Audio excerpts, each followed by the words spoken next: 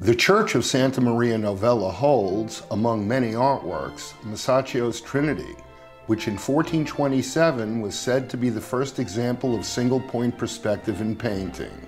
However, his earlier work in the Brancacci Chapel made extensive use of perspective as well. Remarkably, this fresco was lost.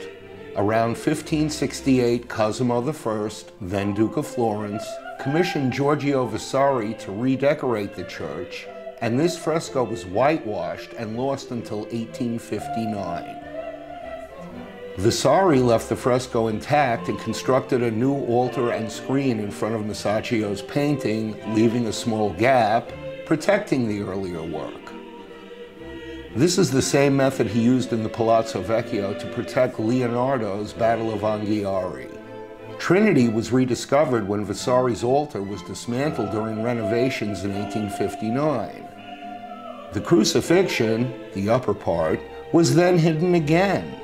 It was not until 100 years later that it was rediscovered. It was first restored and moved back in 1954. Masaccio's creation must have looked like a 3D movie to the people of the Quattrocento. Masaccio used ropes and incised lines as a guide to ensure that the orthogonals hit the vanishing point. All in all, the fresco required 27 giornate, or 27 days of plastering and painting. From the Italian giornato, which meant the six or seven hours one could paint before the plaster dried. The sarcophagus was never moved. It reads in Latin, What you are, I was once, what I am, you will be. No one knows who the donors were, but the star of the attraction is the viewer, as the Virgin, for the first time in art, breaks the fourth wall and looks directly at you.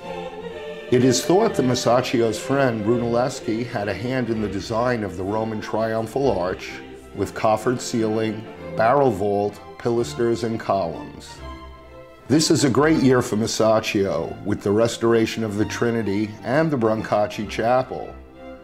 Take a look for my film on the latter on Art and Travel by Dave.